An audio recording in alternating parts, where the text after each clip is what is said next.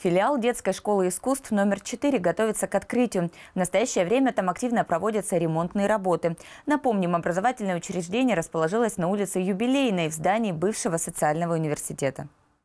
К ремонту будущей школы искусств подрядная организация приступила 25 июня. В здании полностью произведен демонтаж помещений и вывезен мусор. На данный момент работники приступили к отделочным работам. В коридорах учебного заведения произведут капитальный ремонт. Демонтируют устаревшие панели, покрасят стены, а также проведут электромонтажные работы. Полностью заменена э, плитка в санузлах и, соответственно, вся сантехника э, на новую. Ремонт производим где-то на 300 квадратных метрах.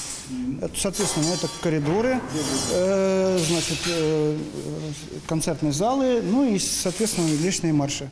На эти цели из бюджета городского округа выделено более трех с половиной миллионов рублей. Ход проводимых работ оценил глава Люберец Владимир Ужицкий. По его словам, ремонт помещений производится в соответствии с требованиями Госпожнадзора. В 60-70-е годы э, было модно, когда стены обивали разного рода пластиком, и это было нормально. Ну, времена меняются, есть э, свои СНИПы, есть требования пожарников, пожнадзора.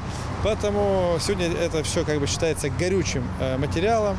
Поэтому есть предписание пожарников, все это надо заменить.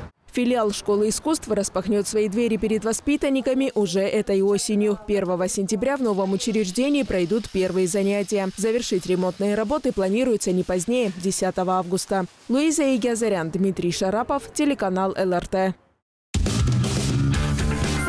Привет! Я Маша Лапочева, а вы смотрите ЛРТ.